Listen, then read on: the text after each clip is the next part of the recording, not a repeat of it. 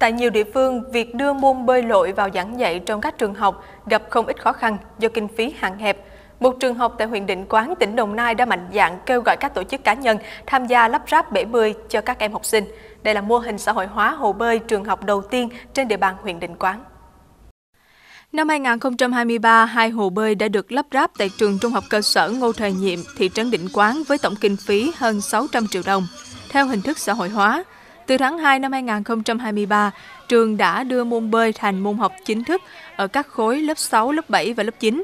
Qua gần 2 tháng học bơi, hầu hết các em học sinh đã nắm bắt được kỹ năng đứng nước, bơi ngửa, nổi được trên nước.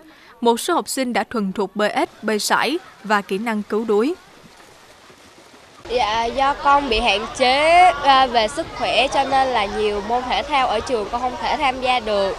Còn riêng môn bơi thì à, từ lần đầu tiên con thử về môn bơi, sau hơn một tháng thì con đã có thể bơi à, được như bơi ngửa và bơi ếch.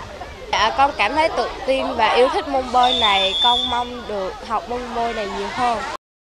Không chỉ trang bị kỹ năng bơi cho học sinh, nhà trường còn thường xuyên tổ chức tuyên truyền phòng tránh tai nạn đuối nước nhằm nâng cao nhận thức cho cán bộ giáo viên học sinh, qua đó góp phần hạn chế những tai nạn thương tâm cho các em.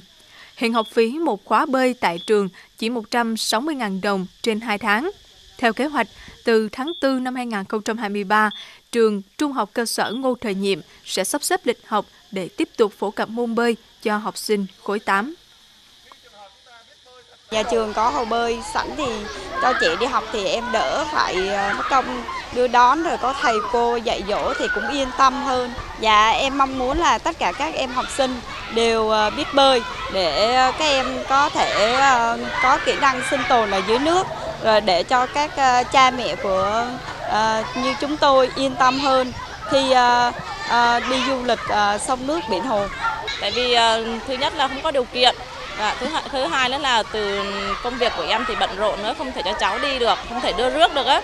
Cho nên là cũng không có khả năng cho cháu đi học bơi nhưng mà từ khi mà trường mình mà có hồ bơi ấy, thì em cũng yên tâm là để cho cháu đi học đi học rồi ờ, để cho cháu trang bị được kiến thức với lại sức khỏe cho cháu.